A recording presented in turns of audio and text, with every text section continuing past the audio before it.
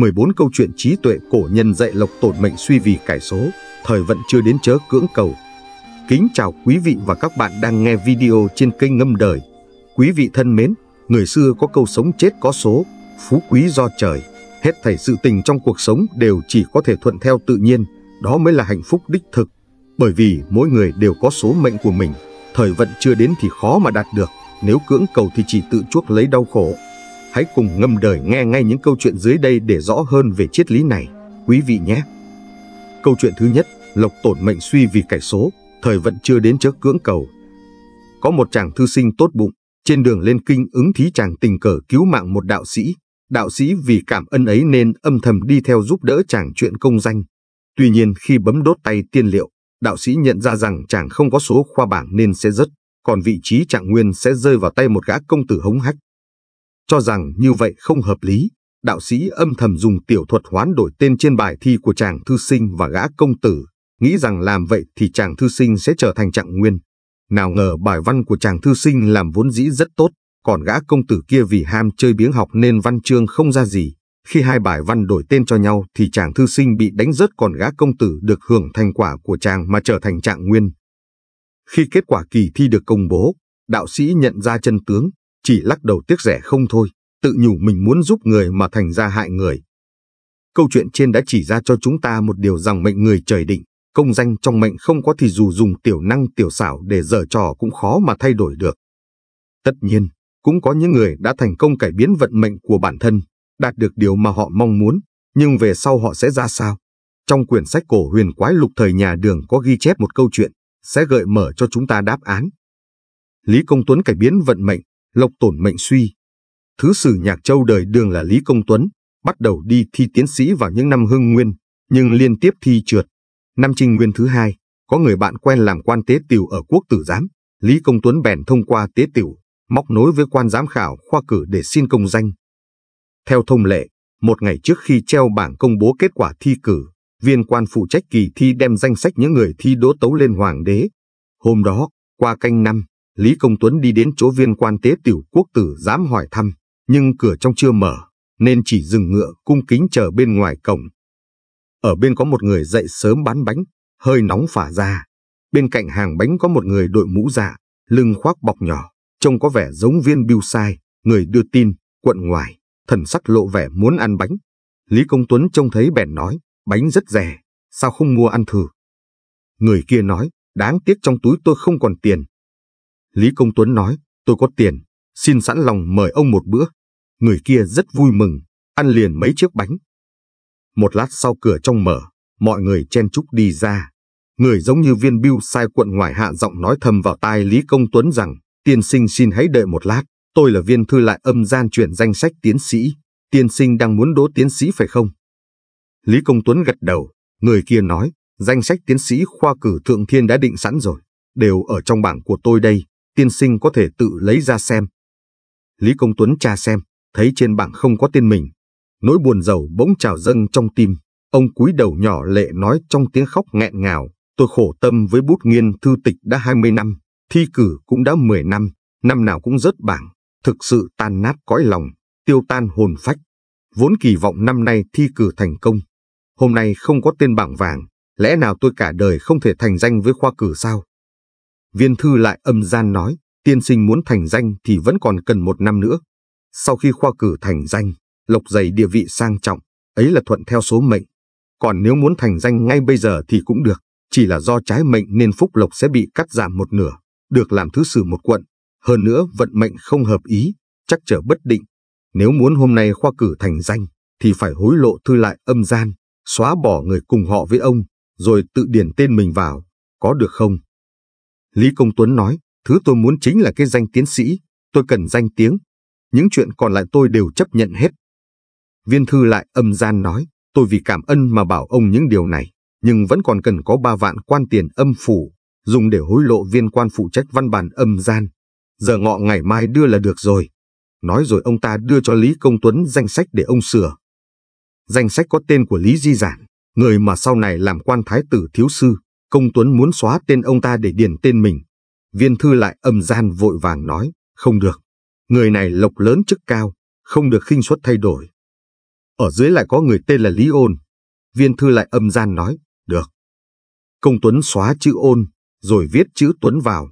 Sau khi sửa xong, viên thư lại âm gian nhận danh sách rồi đi, đồng thời dặn dò Lý Công Tuấn không được trái ước hẹn. Sau đó Lý Công Tuấn đi gặp quan tế tiểu quốc tử. Tế tiểu còn chưa rửa mặt chải đầu xong, nghe nói Lý Công Tuấn đến thăm, tức giận ngồi xuống. Một lát sau tế tiểu mới ra và nói, tôi đã dám hứa sẽ lo cho tiên sinh đậu tiến sĩ, thì đương nhiên sẽ làm được, bởi quan chủ khảo và tôi là bạn thâm giao. Vậy mà tiên sinh vẫn cứ không yên tâm, mang thái độ nghi hoặc tới nhà tôi từ sáng sớm, chẳng lẽ cho rằng tôi là kẻ dối trá chăng?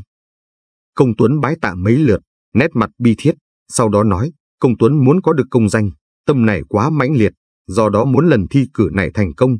Hôm nay là ngày khoa thi niêm yết bảng, do đó mạo muội đến thăm đại nhân. Khi Công Tuấn theo quan tế tiểu đến góc bắc thành đông của Hoàng Thành, vừa may gặp Xuân Quan, tên chức quan xưa, đưa danh sách người thi đỗ đi đến Trung thư tỉnh trong Hoàng Thành. Tế tiểu chắp tay thi lễ và nói, việc tôi nhờ trước đây làm xong rồi chứ. Xuân Quan trả lời, xin lượng thứ, do sức ép của quan trên nên việc ngài nhờ cậy khó mà thành được. Tế tiểu nghe vậy không khỏi tức giận, trước đây ông ta đã ba lần bốn lượt vỗ ngực hứa với Lý Công Tuấn là sẽ làm xong việc này, thái độ cực kỳ nghiêm nghị, vậy mà giờ đây Xuân Quan lại nói làm không xong, thì ông ta còn mặt mũi nào gặp Công Tuấn nữa. Thế là Tế Tiểu hậm hực nói với Xuân Quan rằng, sở dĩ quý bố nổi danh thiên hạ là vì một lời hứa đáng giá nghìn vàng. Hôm nay ông nói lời mà không giữ chữ tín, lừa dối tôi, coi tôi là viên quan quèn. Vậy thì tình bằng hữu giữa hai chúng ta cũng sẽ cắt đứt từ đây. Nói rồi, Tế Tiểu chẳng bái biệt bỏ đi. Xuân Quan vội vàng đuổi theo nói, tôi bị sức ép của của quyền lớn, không dám làm. Hôm nay tiên sinh trách tội như thế này, tôi đành vì tiên sinh mà đắc tội với quan trên thôi. Nói xong, Xuân Quan đưa danh sách cho Tế Tiểu sửa. Tế Tiểu mở danh sách bảng tiến sĩ thế có tên Lý Di Giản, liền muốn sửa. Xuân Quan vội vàng ngăn lại nói, người này do tể tướng chọn, không được xóa đi. Sau đó Xuân Quan chỉ tên Lý Ôn ở bên dưới và nói, người này có thể xóa được. Thế là Tế Tiểu sửa chữ Ôn thành chữ Tuấn. Khi niêm yết bảng, quả nhiên Lý Công Tuấn có tên. Trưa hôm đó, Công Tuấn cùng những người có tên trên bảng thi đỗ tiến sĩ lục tục bái tạ Hoàng thượng, không thực hiện ước hẹn trả ba vạn quan tiền âm phủ. Lúc hoàng hôn, trên đường trở về, Lý Công Tuấn gặp viên thư lại âm phủ ăn bánh kia, ông ta buồn bã khóc rằng do ông không thực hiện ước hẹn, khiến tôi bị trách tội và đánh gậy. May mà được nhiều người xin cho mới miễn truy cứu trách nhiệm. Xin ông cùng giờ đó ngày mai đưa 5 vạn quan tiền lên, tôi mới thật sự thoát tội được. Hôm sau, Lý Công Tuấn làm đúng theo hẹn ước. Sau khi Lý Công Tuấn đỗ tiến sĩ rồi làm quan, liên tiếp bị tra xét, giáng chức. Sau này chỉ làm chức quan thứ sử Nhạc Châu, không lâu thì qua đời, quả nhiên phúc thọ đều giảm một nửa. Lý Công Tuấn vì cầu công danh đã không nhẫn nại chờ đợi một năm, dưới âm thì hối lộ quan lại âm gian, trên trần thế thì chạy quan hệ thân bằng cố hữu, sẵn sàng hại người lợi mình. Mục đích tuy đạt được, nhưng chỉ có kết cục ác báo theo thân, lộc tổn thọ cắt giảm. Buồn thay. Viên thư lại âm gian vì báo ân, quan tế tiểu vì sự tôn nghiêm, xuân quan vì tình bằng hữu, đã giúp Lý Công Tuấn thành tựu việc phi nghĩa phi lý. Thoạt trông có vẻ là làm việc tốt, thực tế là trợ giúp làm ác, liên lụy người tên Lý ôn vốn không dây mơ dễ má gì với họ, còn hủy hoại chính Lý Công Tuấn, tội cũng rất sâu. Người ngày nay càng nên suy nghĩ cẩn trọng, lấy đó làm gương vậy. Câu chuyện thứ hai, được mất tùy duyên mới có thể sống ung dung, tự tại. Sự tuần hoàn của vạn vật trên thế giới này đều là có quy luật. Trong cuộc sống cũng vậy, có rất nhiều sự việc vốn như thế nào thì sẽ là như thế ấy, không bị ràng buộc và thay đổi theo mục đích của con người. Giống như hoa sẽ không bởi vì con người thích mà luôn luôn nở, ánh trăng cũng không bởi vì con người bất mãn mà luôn vắng bóng. Bởi vậy cổ ngữ có câu, tùy duyên nhi hì, tùy ngộ nhi an, tùy duyên mà vui, tùy ngộ mà an. Vạn vật đều có quy luật của riêng nó, con người sống đừng nên quá truy cầu cảnh vật bên ngoài mà phải chú trọng đến nội tâm bên trong của bản thân mình. Một người nếu có thể tùy duyên mà đối đãi với hết thảy thì mọi cảnh vật bên ngoài đều trở nên tuyệt hảo. Tùy duyên là cách nhanh nhất giúp chúng ta thoát khỏi phiền não.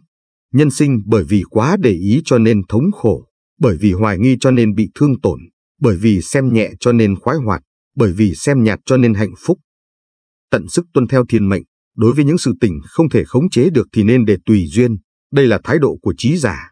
Tùy duyên không phải tùy tiện, tùy ý, không phải đối với sự tình nào cũng cúi đầu chịu đựng.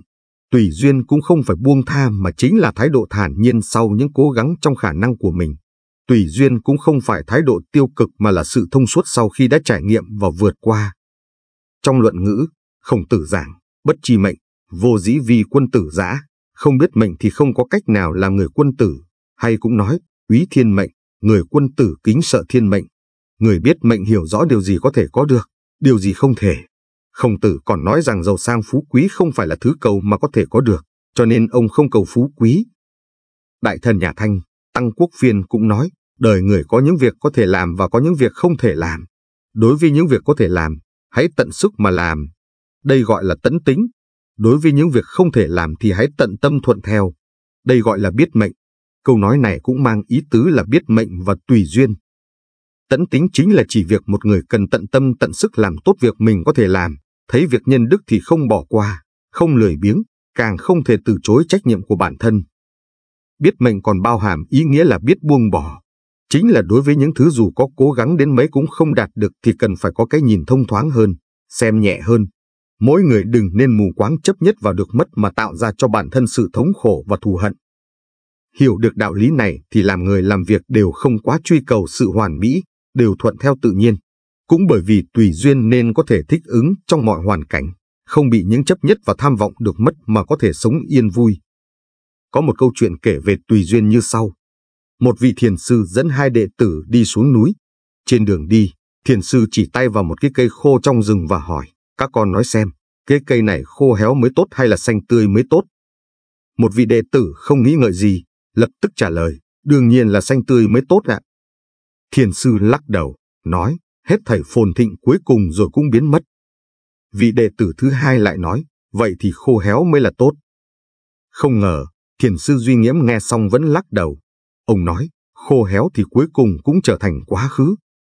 Vừa hay lúc này có một vị tiểu hòa thượng đi qua nơi ba thầy trò họ đang đứng. Thiền sư liền đem câu hỏi ấy để khảo nghiệm vị tiểu hòa thượng này. Tiểu hòa thượng liền trả lời, khô héo thì để nó khô héo, mà tươi tốt thì nên để nó tươi tốt. Thiền sư khen ngợi, tiểu hòa thượng nói đúng lắm. Bất kể sự tình gì trên thế giới này đều nên là để cho nó tự nhiên, đừng chấp nhất, cố chấp. Đây mới là thái độ của tu hành. Quả thực là như vậy, con người sống nên là vui khổ tùy duyên, được mất tùy duyên mới có thể ung dung tự tại. Trong cuộc đời của ai cũng vậy, có rất nhiều nhân tố mà con người không thể khống chế được, không vì ý chí của con người mà thay đổi. Chi bằng hãy tùy duyên mà sống, tùy duyên mà hỉ, luôn bằng lòng với hết thảy nhân duyên trong cuộc đời. Chúng ta bất quá cũng đều là người khách qua đường của trời đất, hết thảy nên tùy duyên mà sống. Câu chuyện thứ ba, lấy nhu khắc cương bài học của người thầy dành do lão tử. húng ta đều biết, mạnh mẽ không phải là cách duy nhất để giải quyết vấn đề.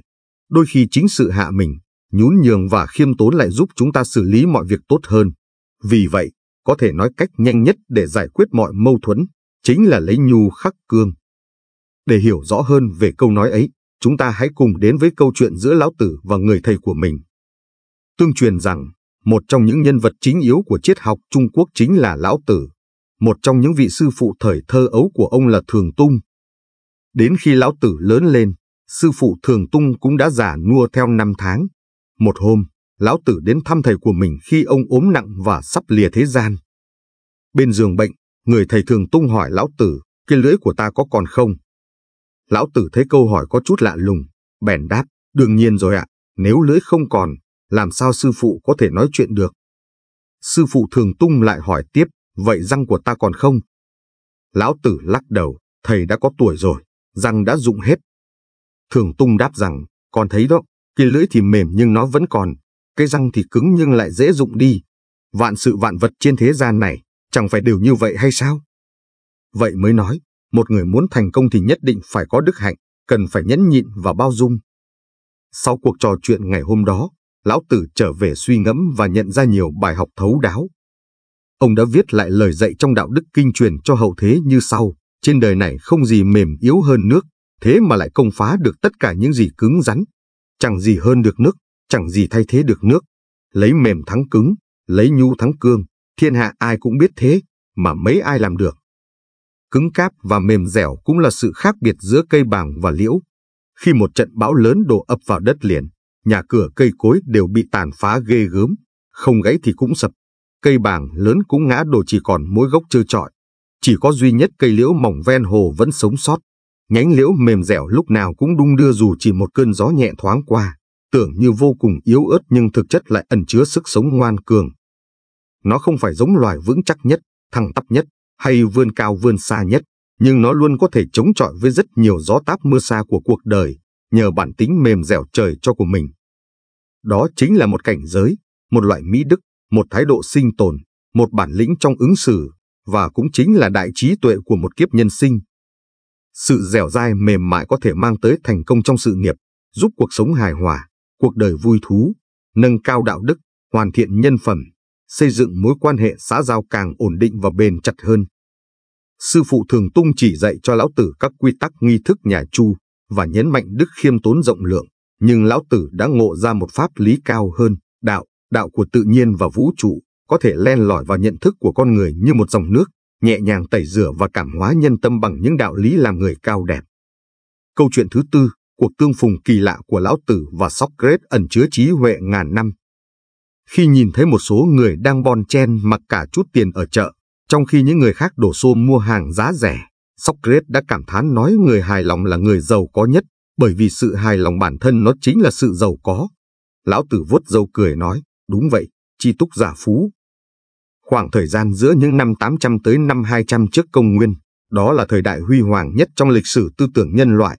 Trong khoảng thời gian này, ở cả phương Đông và phương Tây, một số vị thánh nhân đã xuất hiện, kiến lập ra thể hệ tín ngưỡng cho hậu thế, bao gồm cả những nhân vật chính trong bài báo này Lão Tử và Socrates.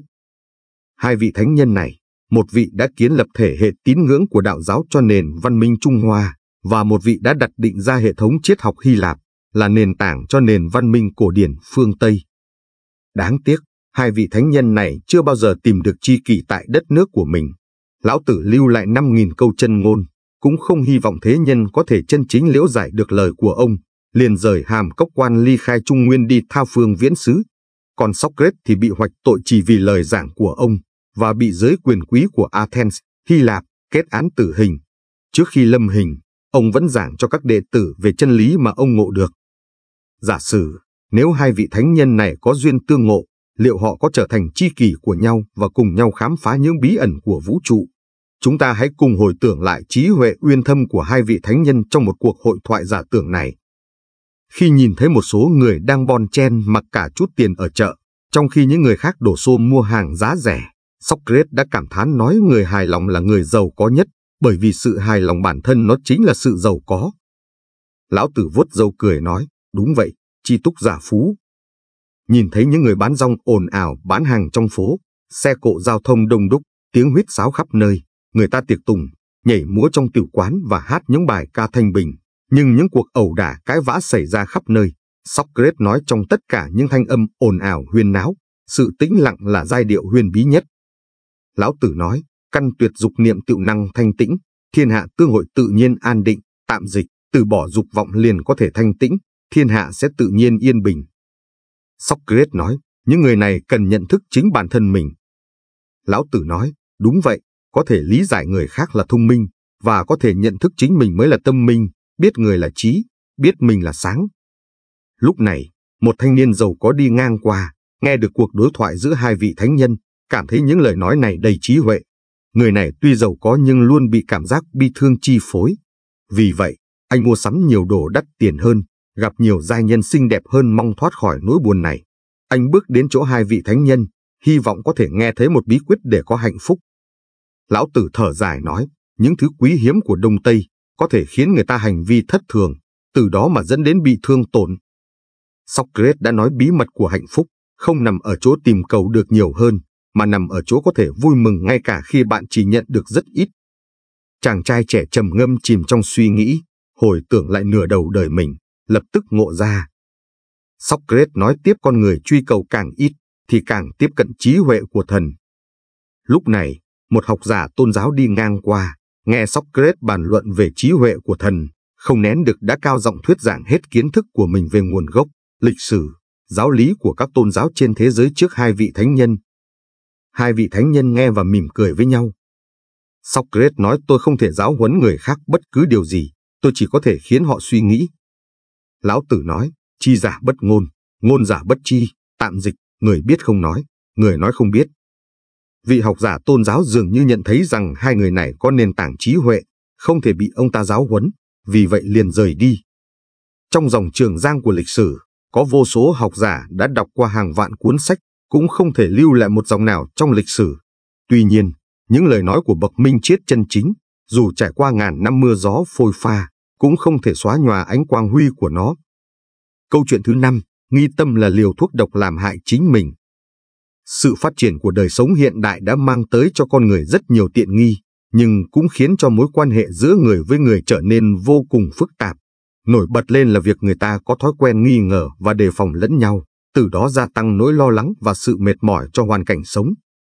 Nghi tâm dễ khiến con người ta trở nên mê muội, lúc ấy nếu không biết giữ một chút bình thản và sáng suốt còn lại thì có thể làm ra những điều khiến bản thân hối hận khôn nguôi.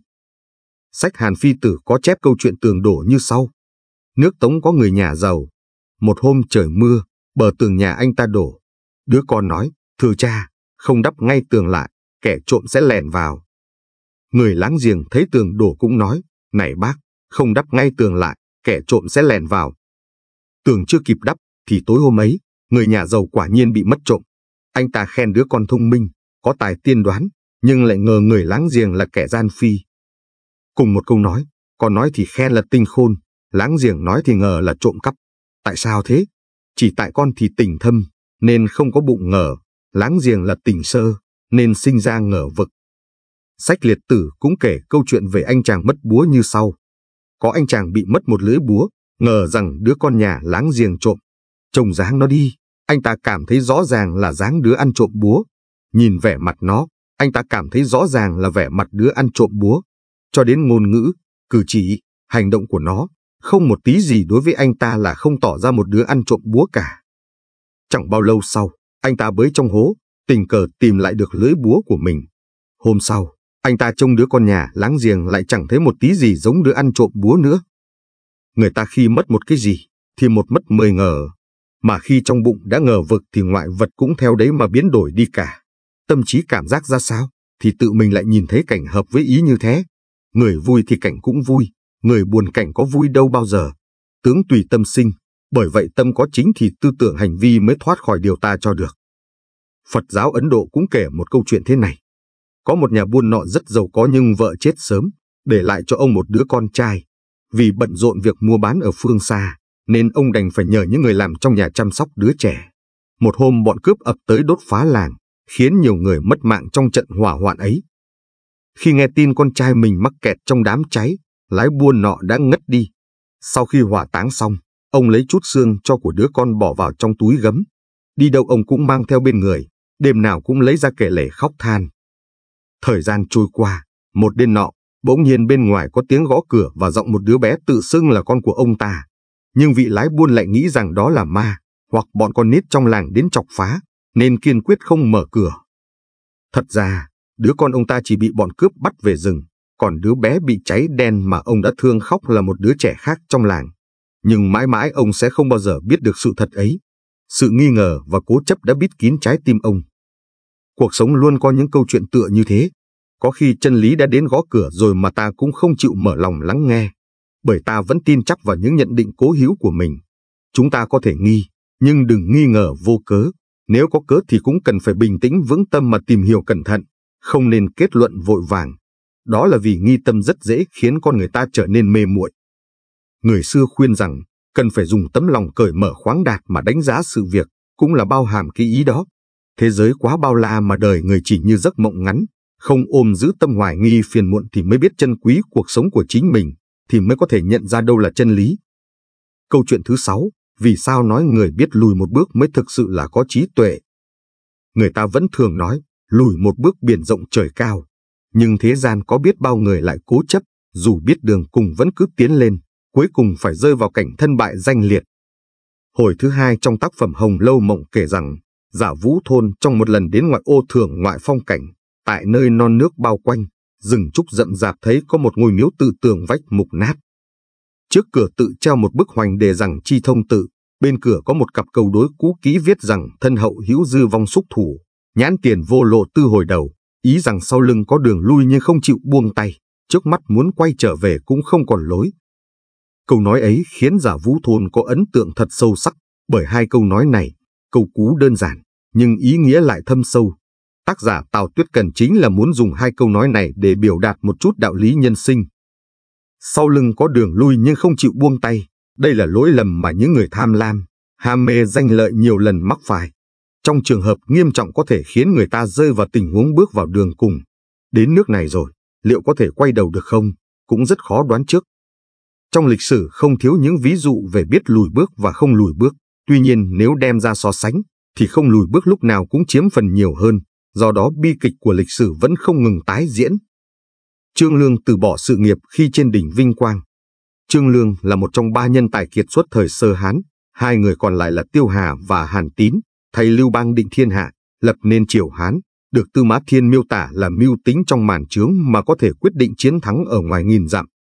Triều Hán được thành lập, Trương Lương có công rất lớn, nhưng khi Lưu Bang chuẩn bị luận công để ban thưởng, Trương Lương lại chọn từ bỏ sự nghiệp khi đang trên đỉnh vinh quang.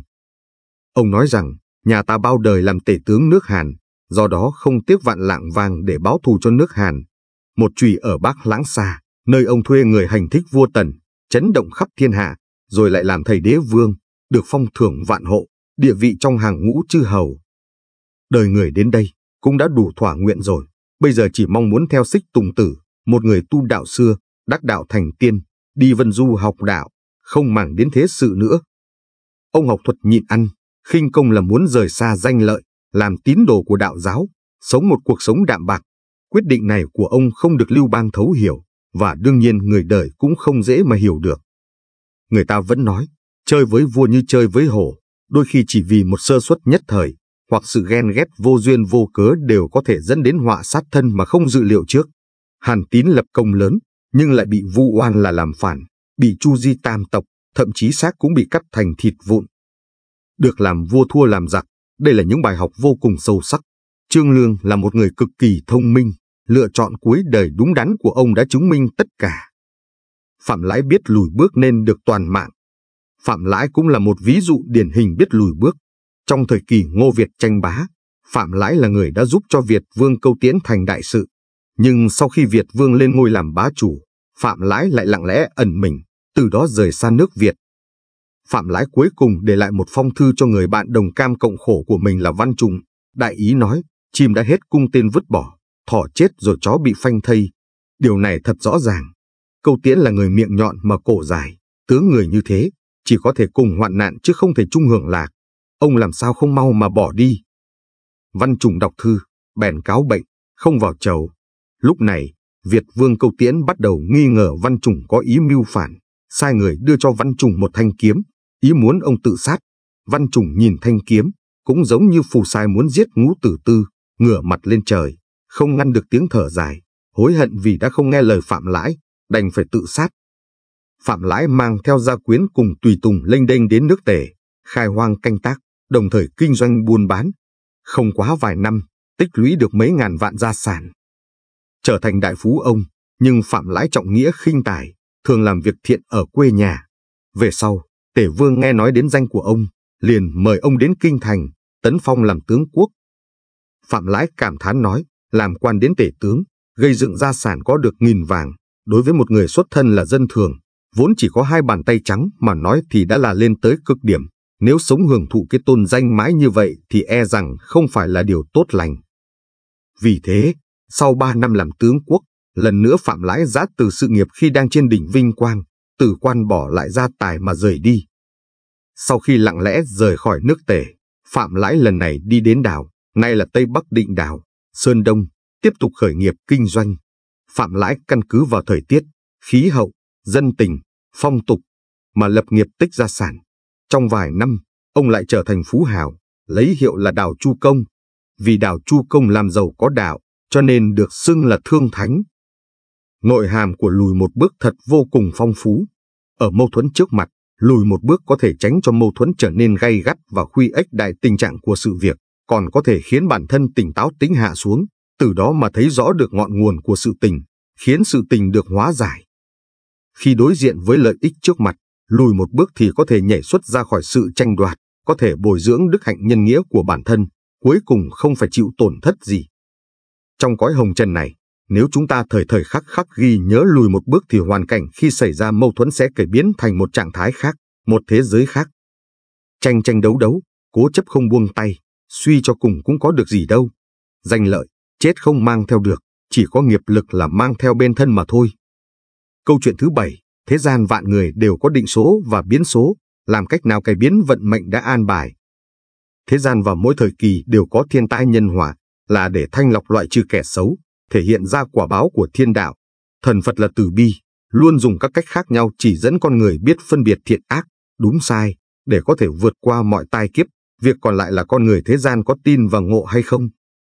Trong thời kỳ Nam Bắc Triều, năm đầu tiên của Lưu Tống Nguyên gia ở Nam Triều, 424 sau công nguyên, có người tên là Tư Mão Văn Tuyên, quê ở Hà Nội, nay là Thẩm Dương, Hà Nam, đang ở nhà túc trực bên linh cứu vì mẹ mất. Theo nghi thức thời bấy giờ, khi cha mẹ qua đời, con trai phải trực bên linh cứu 3 năm. Trong thời gian này, em trai của ông cũng qua đời. Tư Mã Văn Tuyên là một cư sĩ thành kính Phật giáo. Vài tháng sau khi em trai của ông mất, vào sáng sớm ngày 15 tháng nọ, ông nhìn thấy em trai mình tại nơi thờ cúng, hình dáng tướng mạo giống như khi còn sống. Ông biết mình gặp phải ma quỷ rồi. Người em trai có bộ dạng ma quỷ này ở nơi đó nhìn chung quanh, thấp thỏm lo âu thở dài, hỏi mọi người về đồ ăn, thức uống. Tư Mã Văn Tuyên rất kinh ngạc, hỏi con quỷ, em bình sinh tin Phật, chuyên cần làm việc thiện, một người như vậy lẽ ra nên được lên thiên đàng, hoặc đầu thai làm người, tại sao em lại trở thành ma? Con quỷ kia trầm ngâm nửa ngày nói không ra lời, đành phải nhìn quanh trên dưới, trầm mặc không đáp. Đêm đó, Tư Mã Văn Tuyên nằm mơ thấy em trai mình báo mộng, khi còn sống em tu thiện, nên hiện nay đã thăng thiên làm người trời. Thứ anh thấy tại nơi thờ cúng là ác quỷ gạt người, không phải là em. Em sợ anh hoài nghi trách cứ em, nên đến để báo cho anh biết. Sáng hôm sau, ông mời hòa thượng đến niệm kinh trừ quỷ, rồi nhờ người đến đánh đuổi tà ma. Con quỷ thoạt tiên trốn dưới gầm giường, nhưng cuối cùng phải chạy ra ngoài cửa, hiện ra hình dạng ghê tởm, khiến cả nhà khiếp sợ. Họ cùng giận dữ mắng mỏ con quỷ kia, mấy ngày sau đó con quỷ không dám đến. Con quỷ này vừa rời đi, thì một con quỷ khác xuất hiện trên linh cửu của người mẹ quá cố. Con quỷ này sắc mặt đỏ ngầu, phi thường cao lớn. Con trai trưởng của Tư Mã Văn Tuyên Tư Mã Hiếu Tổ cùng nó đối thoại, con quỷ trả lời rất kỹ càng. Mọi người về sau không còn sợ con quỷ này nữa, thậm chí từ từ tiếp nhận xem nó như thành viên trong gia đình. Việc này truyền ra, những người hiếu kỳ kéo đến xem đông nghịt. Quỷ nói, ta kiếp trước từng có thân phận tôn quý, đáng tiếc lúc làm người phạm không ít tội, nay ác nghiệp còn chưa trả hết nên vẫn phải làm kiếp quỷ. Nó còn nói, vào năm dần, sẽ có 400 quỷ ôn dịch đến nhân gian để phát tán dịch bệnh, diệt trừ những người đã tận kiếp số. Tất cả họ đều là người không ngộ đạo, cũng chính là những người đối với Phật Pháp và Đạo Pháp không ngộ cũng không tin. Tai kiếp ôn dịch rất lớn, liên quan đến nhân số đông đảo, vì để tránh cho người phúc thiện bị ngộ thương, nên mới phái ta đến giám sát việc này. Có một người phụ nữ ở đây nên bị bắt, nhưng người này lại giữ giới chuyên cần tu hành, điều này hiếm thấy. Ta ở nhân gian dừng lại đã lâu, cũng là vì việc này. Ta ở đây cũng khiến chủ nhà thêm không ít phiền phức, thật sự quá hổ thẹn. Từ đó về sau, con quỷ này không thường hiện hình nữa. Vào năm Nguyên gia thứ 10, 434 sau công nguyên, ngày 28 tháng 3, quỷ nói với Tư Mã Văn Tuyên rằng, ngươi và gia đình luôn dốc sức làm việc thiện, làm sao ta có thể ở lâu lại được. Tư Mã Hiếu Tổ nói, ngươi cũng có thể ở, nhưng vì sao nhất định phải chiếm cứ vị trí bên trên bàn thờ? Quỷ trả lời nói, người nhà của ngươi chết đều đã có nơi thuộc về họ rồi, trên bài vị trống rỗng, cho nên ta liền tạm thời ở lại. Nói xong con quỷ này liền rời đi. Tư Mã Văn Tuyên vì sao hai lần gặp quỷ, kỳ thật cũng là bởi vì người chết đều đã có nơi thuộc về, cho nên có thể âm quỷ thấy rằng bài vị thờ cúng kia là trống không, mới liền có thể bám vào bên trong. Xem ra, ngay cả các bài vị cũng không thể thiết lập tùy tiện chứ đừng nói đến việc bái thờ theo ý muốn. Rất nhiều phương pháp tu hành yêu cầu gia đình không lập bài vị cho người đã khuất cũng là có đạo lý. Con quỷ lần đầu ông nhìn thấy là do ma quỷ cải trang thành em trai gạt người, suýt chút là bị lừa. Mặt khác không gian rất nhiều sinh mệnh đều sẽ biến hóa, người nhìn thấy không nhất định là thật.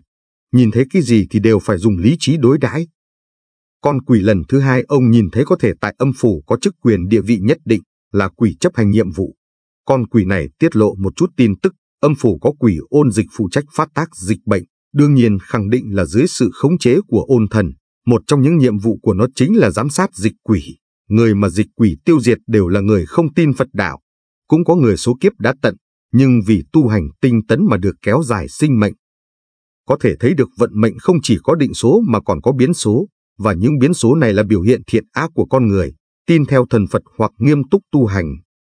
Câu chuyện thứ 8, Đại trí giả ngu, phong cách của bậc đại trí huệ.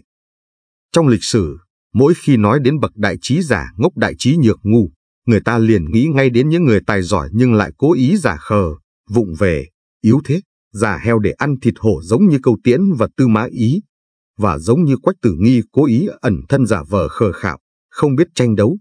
Thực ra không phải vậy. Mục đích của những người này là muốn bảo vệ quyền lực của mình cùng với sự giàu có. Còn người đại trí nhược ngu chân chính nhìn thấu thế gian, có thể từ bỏ mọi thứ trên đời như ngai vàng, danh vọng. Họ chính là quân tử trọng đức, tướng mạo ngu si, ở thế gian tưởng chừng không ai ngốc bằng, nhưng lại nhìn thấu sinh tử, có trí tuệ cao siêu. Bậc quân vương quyền thần giả heo ăn thịt hổ.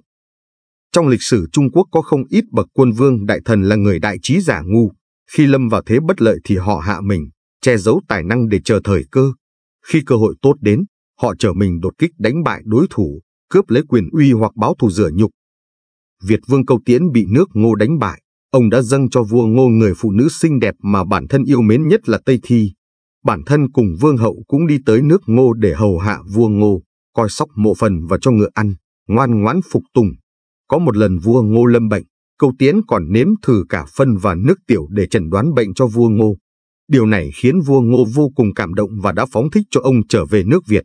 Sau khi trở về, Câu Tiễn nếm mật nằm gai, cùng lao động với nhân dân, chăm lo việc nước, khiến dân giàu nước mạnh, cuối cùng đánh bại nước ngô để báo thù.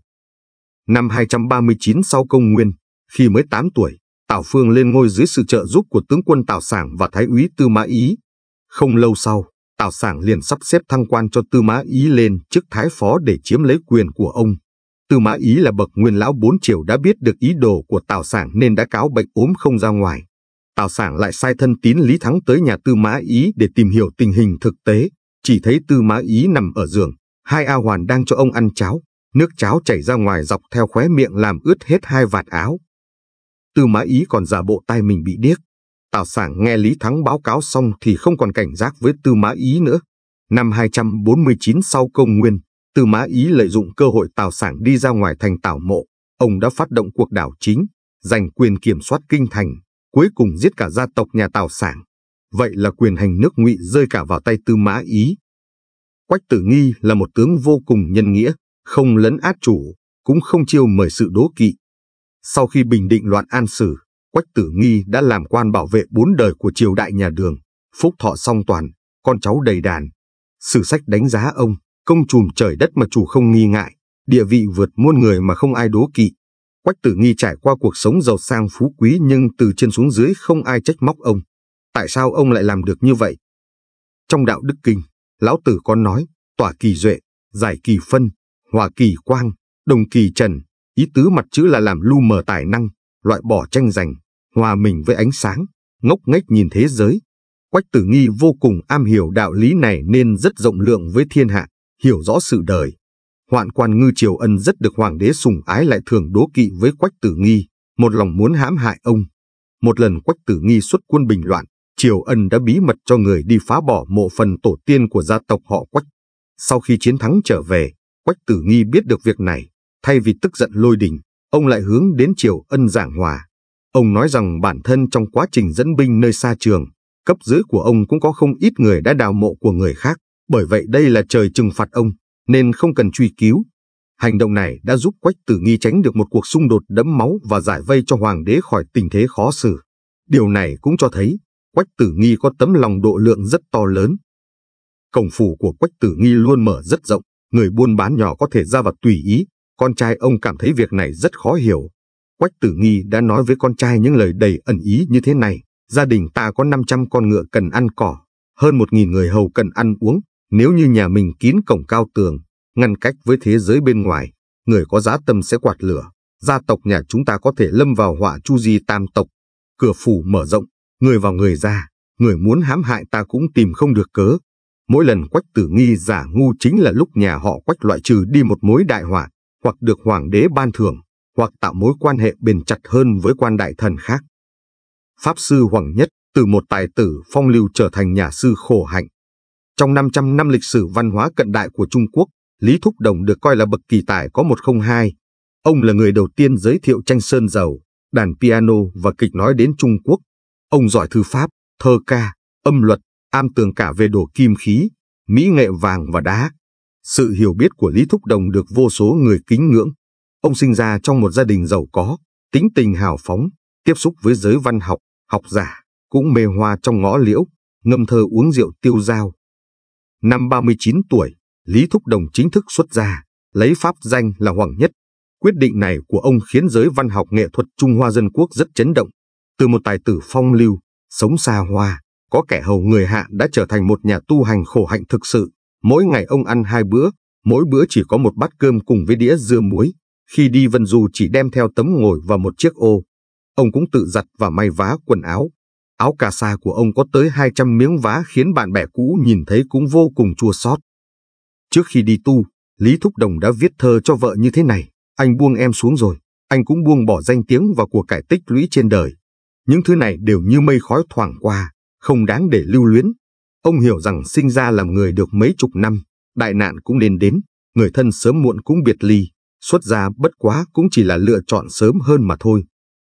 Sư phụ Hoàng Nhất đã tu Phật được 24 năm, hết sức giữ gìn giới luật, dũng mãnh tinh tấn, chấn hưng luật tông vốn đã bị gián đoạn suốt mấy trăm năm.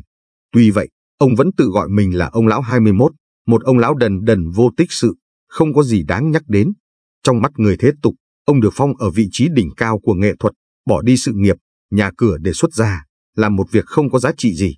Sau khi sư phụ Hoàng Nhất viên tịch, thân xác ông đem đi hỏa táng, mọi người đã phát hiện thấy hơn 1.800 viên xá lợi tử, xá lợi hình khối có tới 600 viên. Lúc này, người thế gian mới ngỡ ngàng nhận ra đâu là bậc đại trí tuệ. Người tu luyện biến mình thành kẻ giả ngu. Lão Tử nói, tục nhân chiêu chiêu, ngã độc hôn hôn, tục nhân sát sát, ngã độc muộn muộn, đạm hề kỳ nhược hải, liêu hề nhược vô chỉ. Chúng nhân dài hữu dĩ, nhi ngã độc ngoan thà bì.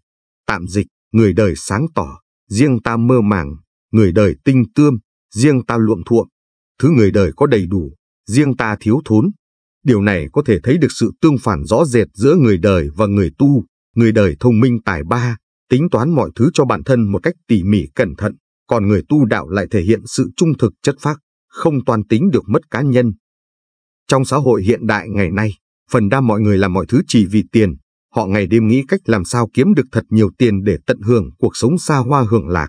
Nhưng có một nhóm người tu luyện, trong đó có người làm bác sĩ, không chấp nhận tiền hoa hồng của công ty thuốc, không nhận phong bì của bệnh nhân, lại cũng có người làm giáo viên, họ dạy học sinh một cách tận tâm, không nhận quà của cha mẹ học trò biếu xén, cũng có người làm quan chức, không nhận hối lộ, không bất xén tiền hợp đồng, người làm kinh doanh buôn bán, khi đối mặt với khách gây khó dễ, đối thủ cướp đoạt mối làm ăn, họ đã thản nhiên nhường lại, người bị ô tô đâm ngã thì không trách oán người, cũng không đòi bồi thường. Người đời tin rằng có nhân sinh là vô thường, nên nếu có cơ hội thì cứ tận sức mà kiếm, để kiếp này được sống xa hoa và thỏa thích hưởng thụ, để không đối xử tệ bạc với bản thân. Tuy nhiên, trong mắt người tu luyện, sinh mệnh là tuần hoàn bất diệt, mọi thứ trong xã hội này đều do trời cao an bài.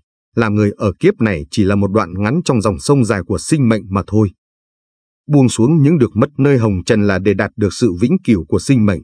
Người đời cho rằng suy nghĩ ngày thật cổ hủ, tuy nhiên đó lại là đại trí tuệ trong cõi nhân sinh này. Câu chuyện thứ 9, Mỹ vị chân chính thường nhạt, người đại đức rất đối bình thường. Trong cuộc sống, người ta thường bỏ qua những điều rất đối bình thường, không coi trọng những điều bình thường. Họ thường cho rằng cao lương mỹ vị phải là những của ngon vật lạ, nhà cao cửa rộng mới là điều đáng mơ ước, cũng cho rằng người tài trí xuất chúng, hành vi khác lạ mới là bậc trí nhân. Nhưng cổ nhân lại không cho là như vậy.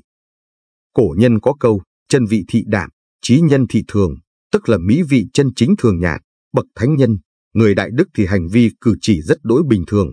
Cổ nhân ví bản tính tự nhiên của con người cũng giống như hương vị thanh đạm của đồ ăn vậy. Nguyên văn câu này chính là trích trong Thái Căn Đàm. Tu thân lập đức, nùng phì tân cam phi chân vị, chân vị chỉ thị đạm, thần kỳ trác dị phi trí nhân, trí nhân chỉ thị thường. Rượu nồng thịt béo, chua ngọt đắng cay đều không phải là mỹ vị chân chính, Mỹ vị chân chính là thanh đạm bình hòa.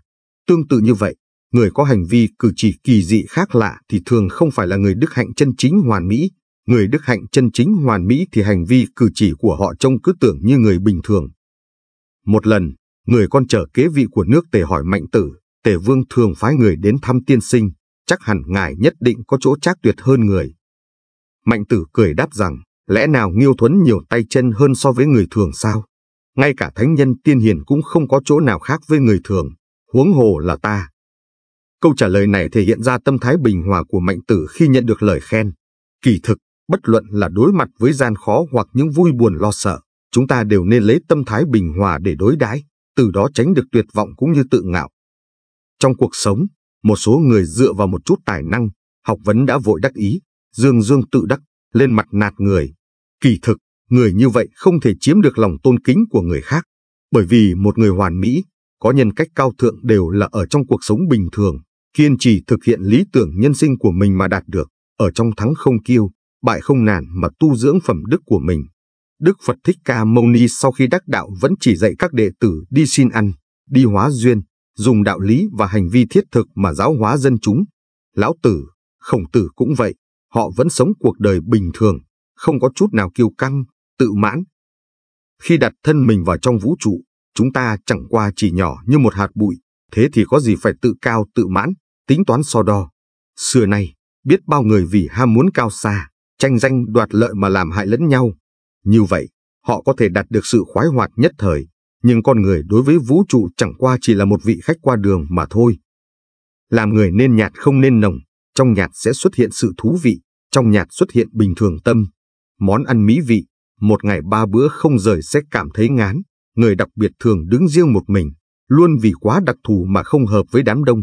Trên thế giới, món ăn ngon nhất chẳng qua là món rau dưa thường ngày ở nhà, thánh nhân đức hạnh hoàn mỹ chẳng qua là người rất đối bình thường. Điền Tử Phương khi theo quân chủ của nước Ngụy là Ngụy Văn Hầu thì luôn miệng ca ngợi Khê Công. Ngụy Văn Hầu lấy làm lạ, liền hỏi, sao Khê Công luôn được ông ca ngợi như thế? Có phải ông ấy là người thầy giúp đỡ ông không? Điền Tử Phương đáp, ông ấy chỉ là người hàng xóm của tôi, nhưng đáng để tôi ca ngợi. Ngụy Văn Hầu lại hỏi, thế thì thầy của ông là ai? Điền Tử Phương đáp, Đông Quách Thuận Tử. Ngụy Văn Hầu vô cùng kinh ngạc hỏi, thế thì tại sao ông chưa từng ca ngợi thầy? Điền Tử Phương đáp rằng, thầy tôi tướng mạo bình thường, nhưng nội tâm hòa hợp với tự nhiên, và lại có thể thuận ứng với sự vật bên ngoài, có thể giữ được tính tình chân chính vốn có, tâm cảnh thanh hư yên tĩnh và bao dung hết thảy. Ngoài ra, nếu gặp phải sự vật bên ngoài không phù hợp với đạo, ông ấy liền nghiêm túc chỉ ra làm cho người ta tỉnh ngộ, từ đó mà khiến cho ý nghĩ tà ác của người khác được tiêu trừ. Đối với vị thầy chất phác tự nhiên như thế, tôi là học trò có thể dùng ngôn từ nào để ca ngợi phẩm hạnh của thầy mình được đây. Lời của Điền Tử Phương khiến chúng ta hiểu rõ, bất cứ những từ ngữ hoa mỹ nào cũng đều không đủ sức để diễn tả cho cảnh giới bình hòa tự nhiên. Trong cuộc sống hiện thực, rất nhiều những doanh nhân công thành danh tựu hay những vị học giả đức cao vọng trọng không phải sinh ra đã là như thế, mà là có được từ việc tu dưỡng trong cuộc sống đời thường. Là một người bình thường càng phải là như thế, chỉ có từ trong bình thường, trong thanh đạm mới có thể bảo lưu bản tính thuần chân của con người. Chỉ có tâm thái bình hòa đối đãi với nhân sinh mới có thể thưởng thức được trăm mùi vị cuộc đời trong sự bình đạm, và thêm vào đó từ trong bình thường mà hiển lộ được bản sắc ưu tú riêng mình. Tâm thái bình thường tự nhiên chính là thứ trang sức nhẹ nhàng của tư tưởng, tự nhiên thoải mái là tầm nhìn hướng về phía trước.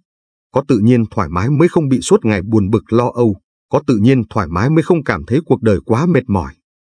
Khi hiểu được điều này, chúng ta đối với cuộc sống mới không cầu toàn, mới không bị bàng hoàng thất ý trước những gian khổ khó khăn. Khi hiểu được điều này, chúng ta mới có thể ưỡn ngực vươn vai, dưới ánh mặt trời ấm áp tìm được khởi điểm tràn đầy hy vọng. Bởi vì thế, chúng ta cần luôn giữ tâm thái bình hòa và tấm lòng cởi mở, để bản thân có được khoái lạc tràn đầy hy vọng. Câu chuyện thứ 10, vì sao lại nói con người vừa sinh ra, mọi sự đều đã được an bài. Chuyện trên đời, giống như những thước phim được lặp đi lặp lại. Con người cũng giống như những con rối, tưởng rằng mình tự do tự tại, đâu ngờ mọi hành động của bản thân đều nằm trong sự an bàn của một bàn tay vô hình. Bí mật của các triều đại từ lúc khai thiên lập địa. Vào thời Khang Hy, ở Chiết Giang có một người đi biển tên là Phương Văn Mộc, tình cờ thuyền của anh ta bị gió thổi đến một vùng đất, nơi đó có một cung điện cao lớn và tráng lệ, phía trên để ba chữ Tỳ Khiên Điện. Phương Văn Mộc rất ngạc nhiên, quỳ bên ngoài điện, lúc này có hai người mặc áo choàng sặc sỡ dẫn anh ta vào trong. Ngồi giữa cung điện là một vị quốc vương với mái tóc dài, trên đầu còn đeo vương miện rất lớn, xung quanh chiếc vương miện có chân châu rũ xuống, sợi dầu phất phơ lúc đụng phải hạt chân châu, thỉnh thoát phát ra tiếng lách cách. Quốc vương hỏi, ngươi là người Chiết Giang sao? Văn Mộc trả lời, vâng. Quốc vương nói, Chiết Giang cách nơi này tận 50 vạn dặm đường.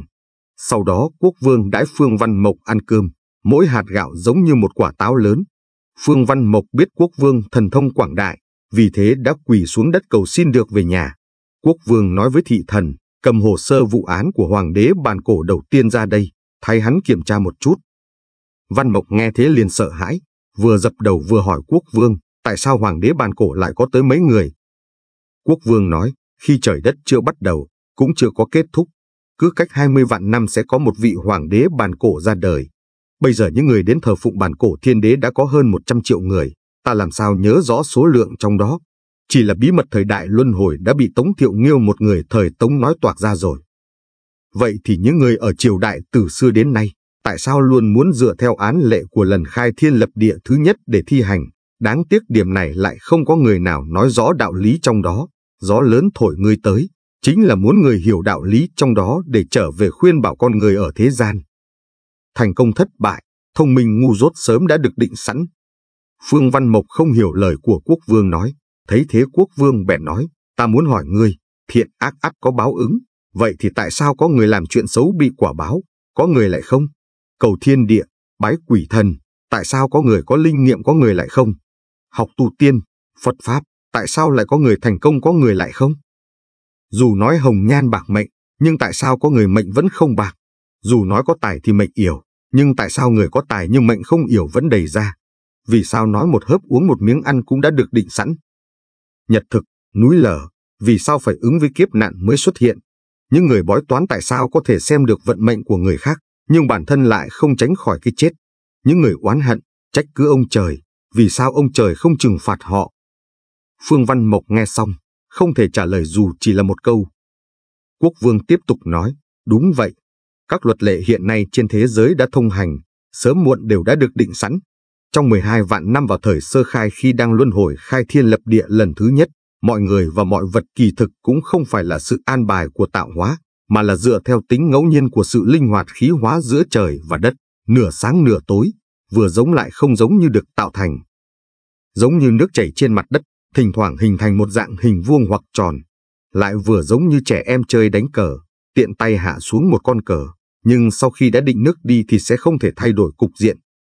Khi trời đất sắp bị hủy diệt, Thượng Đế đã ghi chép lại thời khai thiên lập địa lần như nhất, giao cho bàn cổ để tiến hành khai thiên lập địa lần thứ hai, ra lệnh cho ông ấy dựa theo ghi chép mà thi hành, không được phép thay đổi. Chính vì như vậy, ý người và ý trời mãi không thể chung nhịp, không đồng nhất, con người trên thế giới cả ngày đều bận rộn tối mặt, kỳ thực giống như một con rối trong trò chơi múa rối, vận mệnh bị một người âm thầm thao túng. Thành công và thất bại, thông minh hay ngu dốt đều đã được định sẵn, chỉ là bản thân không biết mà thôi. Truyền đạt thiên cơ cho con người nhân gian.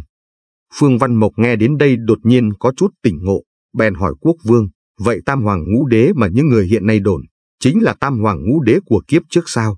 Những chuyện được ghi chép trong 21 sử ký hiện tại chính là những chuyện trong 21 sử ký của kiếp trước sao? Quốc vương trả lời, đúng vậy. Lời của quốc vương vừa dứt, thị thần bưng một quyển sổ ghi chép đến, phía trên có viết, vào năm thứ ba Khang Hy, Phương Văn Mộc ở Chiết Giang chèo thuyền du ngoạn trên biển, bị gió thổi đến nước Tỳ Khiên, nên để người đó truyền đạt thiên cơ tiền định cho con người ở nhân gian biết đến và đưa Phương Văn Mộc về lại Chiết Giang, vân vân. Phương Văn Mộc tạ lễ quốc vương, trước khi đi lưu luyến rơi nước mắt. Quốc vương xua tay nói, ngươi làm gì thế? 12 vạn năm sau, ta vẫn sẽ ở đây để tương ngộ với ngươi, hạ tất gì phải khóc như thế. Tiếp lời người lại cười, ta nói sai rồi, ta nói sai rồi.